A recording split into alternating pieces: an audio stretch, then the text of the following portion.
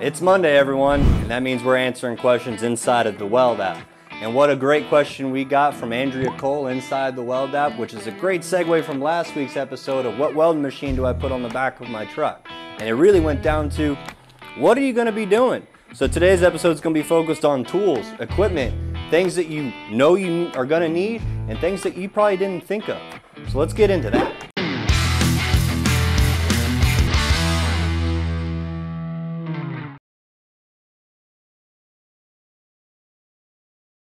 Just a quick disclosure guys, I've only ever been a single hand welder or a fabricator in the shop. I've never had to work behind a truck. So that's why I called on a lot of my friends on Instagram, like Fitter Bowen, Rodney Ross, R Nuop, The Weld Scientist, Nasty Nate, and a couple of others. Space Welds, these guys have all helped me put together a list of all kinds of tools and equipment that you could possibly want on your truck. What they also told me is all situational. You never know what you're gonna get into until you get the job it doesn't make any sense to bring 75-25 mixed gas bottle to a stick welding job. You don't want to take up the room on your truck.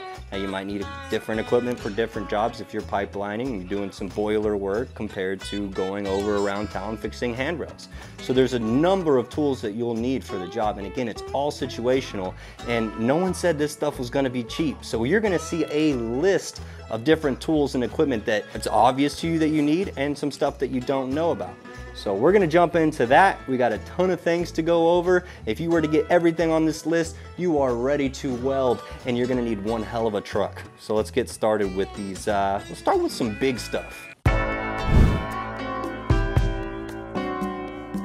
There's gonna be a ton of stuff in the back of your truck. Again, it depends on what you're gonna be doing. A bead hand on the right of way isn't gonna need as many tools as say a maintenance person for uh, you know, heavy equipment that's going out to the middle of a, a dig site and fixing excavators. They're gonna need a lot more tools, a crane on board, compressors, all that kind of stuff. So that's really gonna determine the footprint of your the back of your bed, the back of your truck. So you might need a custom bed. You may need to rip the whole thing up and build this big rolling toolbox, if you will. So we're gonna go over all the big heavy stuff that goes with your welding machine, obviously, depending on the size of it, right? It depends on where it's gonna go on the back of your truck. You might need a compressor if it's not on board with your welding machine, not to mention the hundreds and hundreds of feet of lead you're gonna need. I would recommend at least 300 foot of lead, 150 for both sides, and that's, that's still not very much. So you're gonna need a ton of lead, you're gonna need an oxy-fuel setup, so that means you're gonna need oxygen bottle and an acetylene bottle if you plan on doing any type of cutting, which, you know, I really recommend having that on board. It might help. If you have a compressor and a small plasma cutter that you can run off of your welder, you might have that opportunity to carry a plasma cutter in lieu of having that. But you're gonna need the right power to power, that plasma cutter. So those are some things to think about. You're also going to need what else?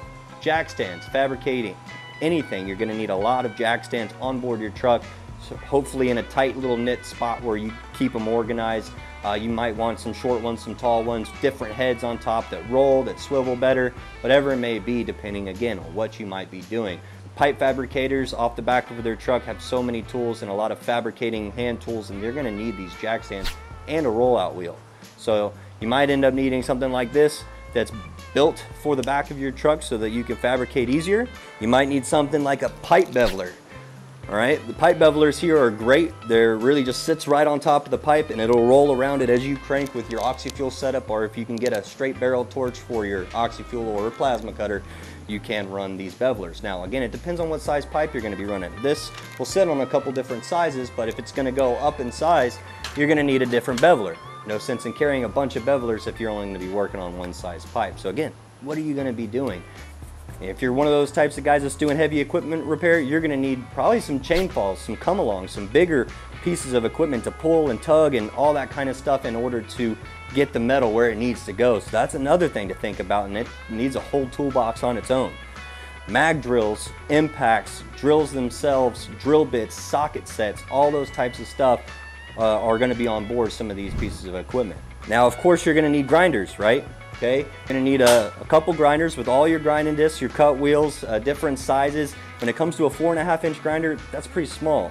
It's not likely that you're gonna be carrying a four inch grinder unless it's just a really small job in a tight spot. But four and a half inch grinders, they're, they're kind of just cute. You wanna go five inch, seven inch, nine inch, as far as those types of that type of work. And of course, you always want to have some sort of pencil grinder or die grinder, a couple different burr bits, and a couple flap wheels to go on there so that you can prep stuff to have little holes. Sometimes the holes get tiny and we need to get in there. Uh, cone rocks for your grinders. I mean, you need a ton of consumables for just your grinders alone. And now we have all these power tools, tools, maybe even skill saws and chop saws because we're working on different stuff and we need to be cutting some stuff, porta bands. Now we need extension cords. So not only do you need 150 feet of leads, but you need probably two or three, four or five extension cords on these job sites too. So that's a lot of things already that we're packing in. And we haven't even got into hand tools yet. So let's try those out. Hammers, big ones, medium ones, small ones, maybe even some bigger ones. Crescent wrench, spud crescent. This is great for lining up holes or stabbing your helper. Channel locks. You know, you never know when you're gonna have to pinch and grab something or maybe put on a little puppet show. Good old pry bar to open those really difficult beers at the end of the day. A couple of these bastards. Maybe some wire brushes, stainless, carbon. I'd rather use a wire wheel. Clamps, all kinds of clamps. You probably need a lot of clamps. Pair of dikes, maybe a set of pliers or two and some MIG variety pliers. You never know. These are just good for all kinds of stuff, not just MIG welding. Impacts, drills, need them. A tape measure, laser beams, and some angle finders, digital angle finders. These are really great fabricating tools, especially pulling measurements, getting things to line up with your eyeballs. A plumb bob, so you can make sure that your bobs are plumb. Chalk line, you know, I never know when you're gonna need to pop a chalk. Gotta have some two-hole pins when two-hole and flanges. If you're doing any type of flange fabrication, gotta have some two-hole pins. Pipe wraps. Not only pipe wraps, but receipt paper. These are great for your layouts of pipe. Levels. Probably need a lot of levels. You can never have too many levels. Gotta stay square level and plumb, bruh. Another digital angle finder for your little angles that you need to find. Center punch. Gotta have that center punch. Great for, you know, center punching. In this case, you do want to be square. You want to have your carpenters, your combos, and your speed squares all on board, different sizes. You might even need something a lot bigger like one of these old dogs because we're a big square. Chisels, punches, set out homemade ho, ho, plate dogs. Uh, radius marker, compass, you know, makes you draw your circles really circular. Some basic hand tools like wrenches, ratchets, again drill bits, screwdrivers, Allen wrenches, preferably more than one of each of these things. Yeah. If you're working for yourself and you're not working for a company, it's likely you're going to have to buy and supply your own welding rods, not to mention store them properly. So you're going to want to make sure you have proper containers. Rod Shield makes some good ones to put your welding rods in so that you can store your, basically your investment. If those rods go bad, you can't use them anymore, and that's definitely a waste of money. So get a couple of those rod containers so that you can store your welding rods safely. Well, that's a lot of stuff. Uh, again, with all the big stuff and all the little stuff combined, if you were to get all of this on one truck, your, your truck would be a, a rolling toolbox. But there's still more stuff to talk about. Austin, what could we possibly need? And it's the stuff that you don't think you need until you freaking need it like a big umbrella. Now I'm not talking about, you know, Mary Poppins. No, I'm talking about solar freaking eclipse umbrellas. You need big ones that are durable so that you can stay shaded. You want to be working in the cool shade. It's way better than having the sun beat down on you. I know that. Now you're bored. Now this welding stuff's getting boring. Now you need some tunes. You need to get a little crazy. So we want to have some Katy Perry blaring. You bring your own Bluetooth speaker, right?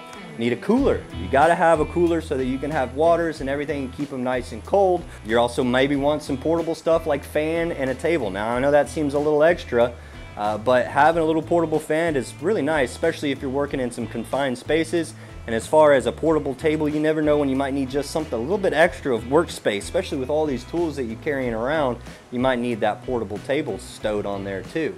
One other big thing I want to point out is you never know what you're going to get into on some of these things. You might be getting filthy. So a pair of mud boots, you know, having some nice mud boots up to your knees, I, I can't say that, that that's just, you got to have those. Another pair of socks, another pair of underwears, change of clothes. You're going to want this stuff whenever you're done with that job and you're just, you don't even want to get in your truck because you're absolutely filthy. And I'll be the one to tell you, I'll get almost down to my skivvies on the right of way just so I can change into something clean and get home. So a, a, change of clothes is absolutely crucial with some good mud boots. And if we're walking in the mud, if we can avoid it, we need a mud board now, and now we need a step ladder too. Sometimes the pipes are not just on the ground, sometimes we need something a little higher. So having those on your truck are things that you may not think about until you're there and you're staring at it like, man, I wish I was just a little taller, or maybe I wish I had something to lay down right here so I didn't have to lay in the mud. And one of the last things is ratchet straps. Ratchet straps are just awesome just in general for just strapping things down or even pulling small spaghetti piping over to you. If it's just something that you don't need to break out something heavy like a chain fall or come along and you can get away with a ratchet strap, get them. Well, I think that's a pretty solid list to get you started as far as what goes on your truck. Again, whatever you think you're gonna be doing is what you need to focus around. Ask those questions, go to the Weld app, and see what other people are doing. If there's something on your truck that you can't live without, let us know in the comments below. I'm sure that'll help whoever's really who's watching this video. Guys, if you have any more questions, go inside the Weld app, tag me, Austin Hargett, in your question, and I'll be happy to answer your question every Monday. And if I don't get to it, someone will. Check us out, guys.